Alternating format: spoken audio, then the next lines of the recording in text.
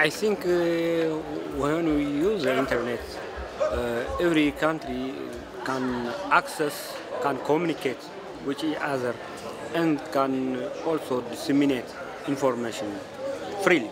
The whole citizen and the public and the citizen at all, and the government with gov- government or the government with the citizen can communicate. We can uh, understand each other. The government can understand the people, and the people can understand the government what is going on.